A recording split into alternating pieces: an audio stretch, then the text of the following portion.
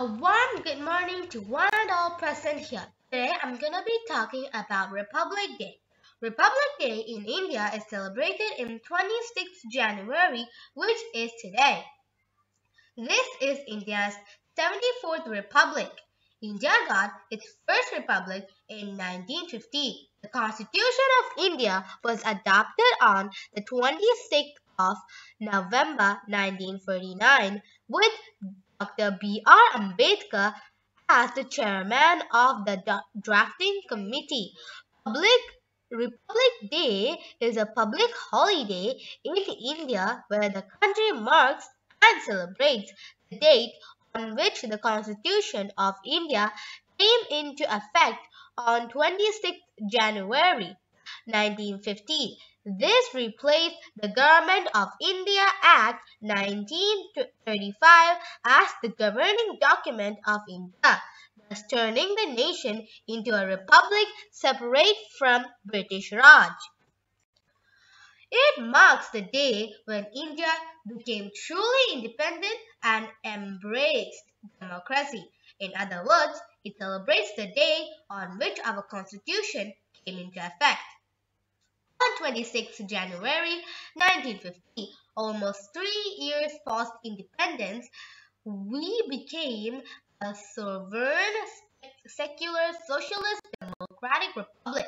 The day brings a unique emotion of patriotism to every Indian citizen as we commemorate how our constitution came into effect.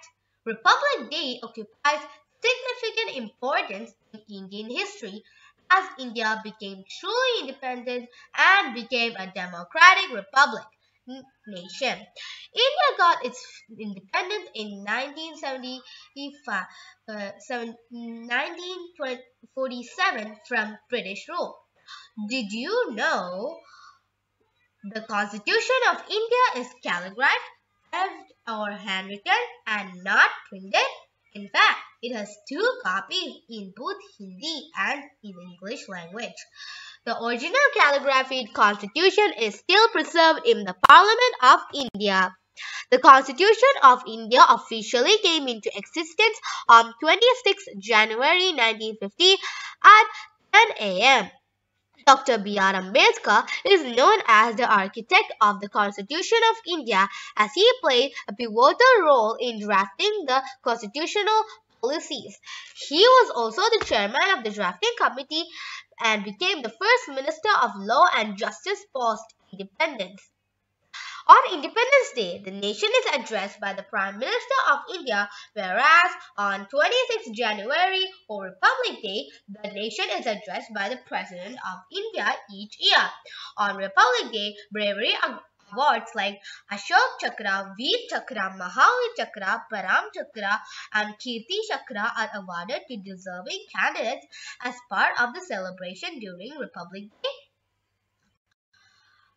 While our Independence Day celebrates from uh, freedom from British rule. Republic Day commemorates the Constitution coming into force.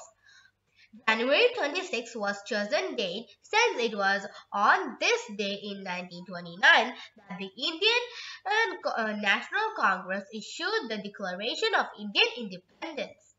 Purna Swaraj, opposing the British, re regains dominion status.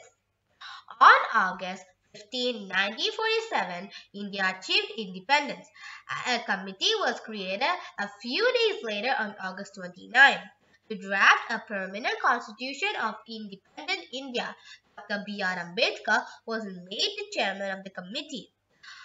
On November 4, 1947, the committee drafting mm, the committee drafting the constitution and submitted it to the Constituent Assembly. The Assembly met in numerous sessions for nearly two years before finally adopting the Constitution.